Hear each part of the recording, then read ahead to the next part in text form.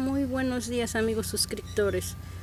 Hoy les presento una planta corona de Cristo en amarillo. Miren, este amarillito. Está muy bonita. Está chiquita. Son sus primeras flores. Y miren, es amarillo y con sus lados, sus puntas en rosita. Miren, esto es cuando ya tiene días la flor, pero la que apenas va saliendo, miren qué color es.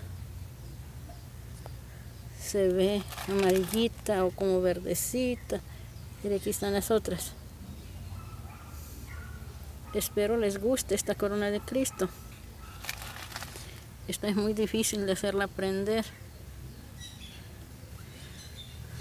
Todos los colores que no son tan comunes, da más trabajo para que prendan. Tardan mucho en enraizar. Esta planta es de sol, 100% sol, para que siempre tenga flor y abono cada mes. Espero les guste. Miren, la macetita está muy pequeña. Y cómo está la plantita. Bueno, hasta luego.